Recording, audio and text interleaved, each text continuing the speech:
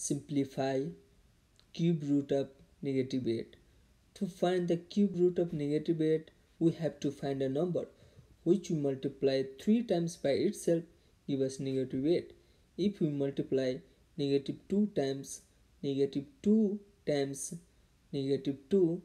which is equal to negative 8 so our final answer will be negative 2